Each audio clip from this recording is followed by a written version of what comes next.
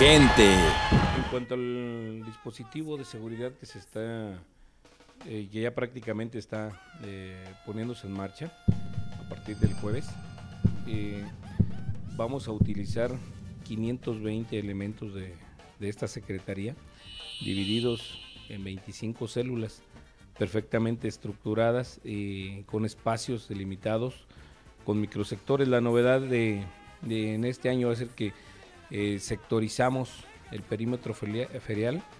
eh, de acuerdo a la magnitud del problema que hemos estado eh, viviendo año tras año. Y bueno, esto nos ha permitido eh, tener una mejor planeación,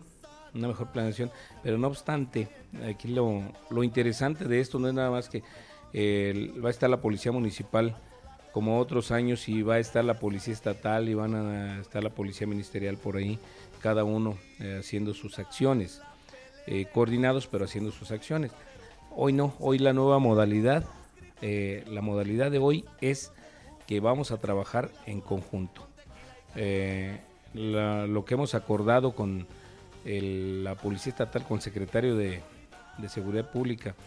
del Estado, el general Hidalgo Eddy,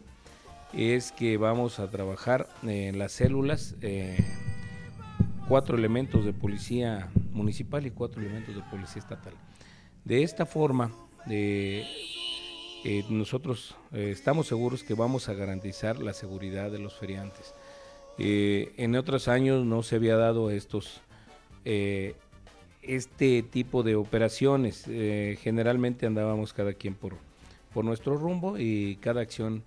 que emprendíamos era de alguna manera eh, para la corporación a la que pertenecíamos. Ahora no, ahora vamos a trabajar en conjunto eh, y todos contra eh,